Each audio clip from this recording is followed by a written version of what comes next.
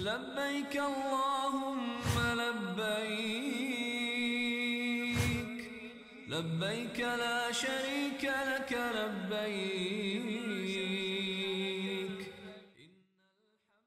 alaikum wa rahmatullahi wa barakatuh. Um, again, I was talking about uh, sa'i, okay, as uh, one ritual of Hajj. Now let me talk about a term that people hears it, but some people don't understand the meaning of which is rami. What is rami? Well, that's simple. Rami is to hurl something, okay? And as a ritual, we go to uh, actually to Mina as we, uh, as you remember, on first we arrive in Mecca, okay? Now the 8th of the Hijjah, we get ready and put our ihram on to perform Hajj, okay? And um, then we move, we move uh, to Mina, okay? That's uh, on the 8th of the Hijjah. And we sleep night there in Mina so that in the morning by sunrise we proceed towards uh, Arafah, okay? But, um, you know, uh, let me talk now, I'm sorry, let me talk now about Arafah because Arafah comes first, okay? Now, some people, you know, say, what is the significance in standing on a plain which has no water? Absolutely nothing. Never mind now, you know, I mean, the government are doing uh, their best in order to uh, make the pilgrims uh, comfortable, you know, with uh, providing them with water, food, everything. But now we're talking about Arafah. You know, when we go there, um, it's simply because Allah commands us to do that. You see, uh, we may not understand, but since Allah commands us, there's a great um, wisdom, great benefit in responding to the command of Allah. We stay there almost all the day. You know, as soon as the sun rises, you find pilgrims proceeding into Arafah we stay in Arafah there, and um, well, um, until sunset.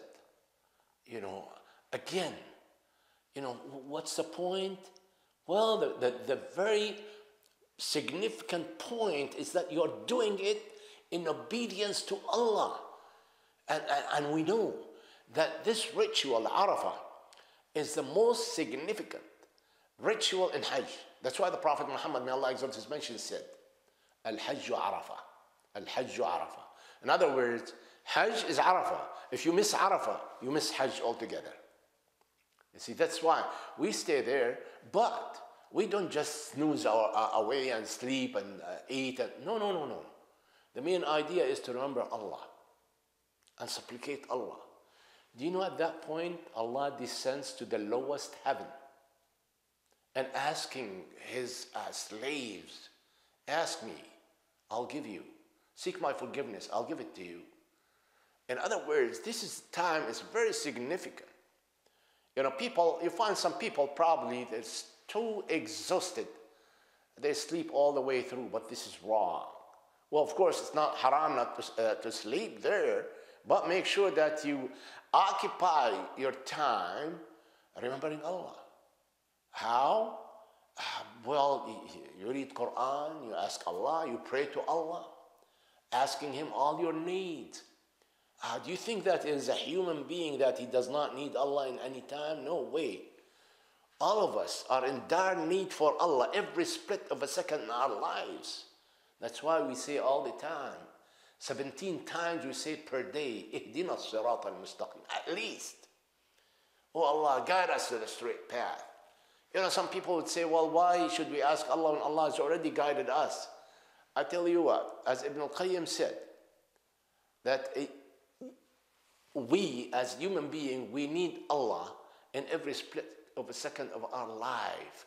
Because if Allah leaves us to our own, to handle our own affairs, we'll be lost. Remember that. So we need Allah at all times. And not only that, when Allah shows off his slaves, he would say to the angel, Look at my slaves. They're coming here with shaggy um, hair and, and dusty clothes.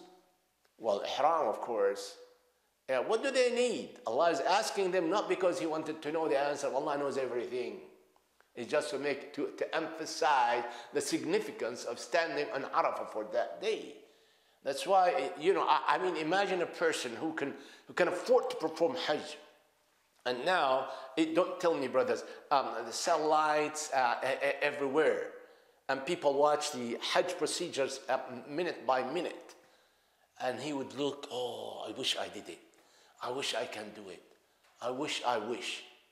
Well, anyway, if he's lucky, Allah will extend his life and he would do it next year, for instance. But otherwise, if you have no reason, now you think of it that way, you missed a great chance. That is the chance standing in Arafah when Allah is, is, uh, descends to the lowest heaven and ask, Do you need anything? I'll give it to you. Just ask me. In other words, forgiveness is for, for the asking. And whatever you need, you ask Allah at that point.